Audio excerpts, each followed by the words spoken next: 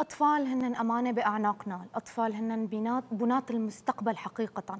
وأطفالنا للأسف عانوا من الأمرين. الحرب والزلزال. للأسف الحياة كانت قاسية عليهم وخاصة الأطفال المصابين بالسرطان. حبينا ضمن هالحلقة كمان نسلط الضوء على الأطفال المصابين بالسرطان بالمناطق المنكوبة. وحبينا نسلط الضوء كمان على دور جمعية بسمة خلال هالكارثة. تفاصيل أكثر حتكون مع السيدة سهير بولاد رئيس مجلس إدارة جمعية بسمة. أهلا وسهلا فيكي. ألو مدام. أيوه. تفضل أهلا وسهلا فيكي أهلا فيكم. أهلا مساء الخير. يعطيكم العافية. الله يعافيك يا رب. حقيقة بداية خبرينا عن دور جمعية بسمة بظل هالفاجعة اللي صابتنا. آه، جمعية بسمة بس حاعطيكم شوي فكرة عنا آه، نحن جمعية أهلية تأسست بال 2006 لدعم الأطفال المصابين بالسرطان وأهاليهم.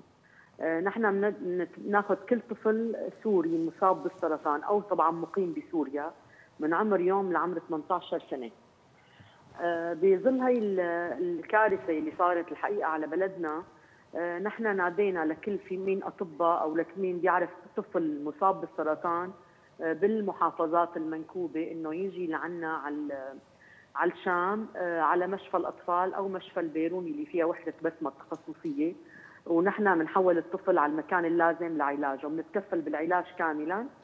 آه، ومنأمن سكن طبعا للأهالي يلي اللي جايين من المحافظات. آه، كمان عم نأمن المواصلات. آه، للأهالي اللي بتروح الأم وطفلها أو أو الأب والطفل بنأمن المواصلات لمناطق إقامتهم يعني روحة ورجعة. تمام. طيب دكتورة خبرينا أكثر عن المبادرة يلي قمتوا فيها.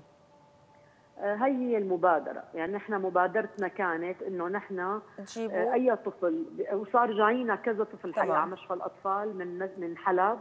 آه، هلأ مشفى حلب هي عم تخدم بس بطاقة أقل. فنحن حكينا مع مع مشفى حلب مع مع مدير الأورام ومع الطبيبة الموجودة هنيك إنه أي حالة هن بدهم يبعثوا لنا إياها بتجي فورا لعنا ونحن بنتكفل بكل شيء. تمام. ست سهير الأطفال المصابين بالسرطان هن حقيقة بحاجة لدعم ورعاية فائقة. هل اليوم أنتم قادرين أنه توصلوا للأطفال المصابين بالسرطان بالمناطق المنكوبة؟ هلا بالحقيقة هو الطفل المصاب بالسرطان مثل ما بتعرفي. بده مكان كرمال ياخذ هالجرعة. تماما. المكان هو موجود عندنا هون بالشام هو بمشفى الأطفال أو بمشفى البيروني فهي يعني آه، نحن بيجوا لعنا الأطفال. يعني حقيقة بدهم هن يكونوا متواصلين مع حضرتكم. تمام. ما في مجال نحن للتوسع للمحافظات الأخرى. هلأ بالحقيقة يعني هلأ مشفى حلب طلبنا منهم يقولوا انهم شو لازمهم.